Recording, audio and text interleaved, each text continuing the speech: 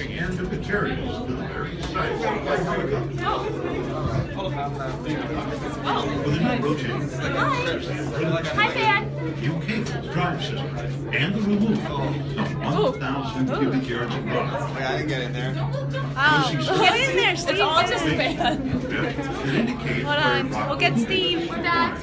Yay. Yay. Okay, and Matt. the Western Hemisphere